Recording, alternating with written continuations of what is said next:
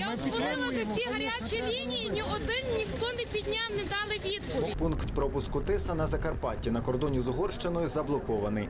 Посеред дороги авто з увімкненими аварійними сигналами вимагають скасувати новий закон про розмитнення авто з іноземною реєстрацією. Ну хочу, щоб цей закон відмінили раз, газ. Этот тариф на газ знизили на світло. Так само. Пенсії не подоймуть, дорого не роблять. Це знущання над народом просто.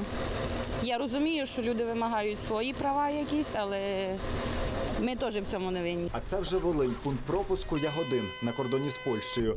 На місце протесту принесли шини, напнули намет. Я вимушений їздити транзитом, тому що я не міг дозволити собі купити машину Євро 5, розмитнити її, їздити офіційно Україн на українських номерах. У мене машина загружена ліками. Це не мої ліки. Це ліки для вас, для нас, для наших дітей, для наших батьків. Кілька кілометрові черги утворилися на пункті пропуску Шегині на Львівщині.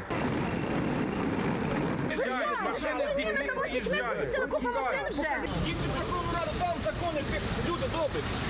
До чого ви хочете за мій рахунок добитися собі льгот? Протягом вихідних заблокованим був майже увесь західний кордон України. На пунктах пропуску утворилися черги, у них застрягли сотні людей. До обіду понеділка на деяких пунктах пропуску рух відновився. Однак знімати блокаду повністю мітингувальники відмовилися. На декількох пунктах пропуску е, руху майже немає.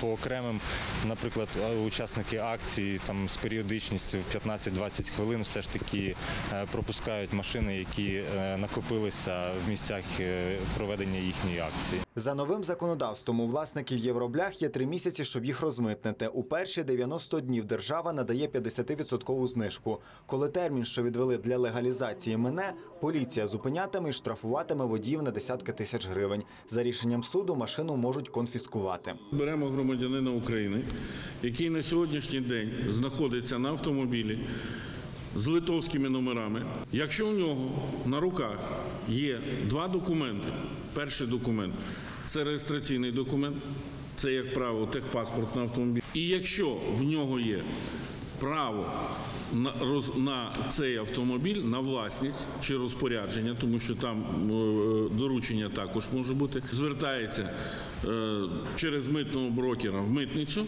для того, щоб йому цей автомобіль оформили.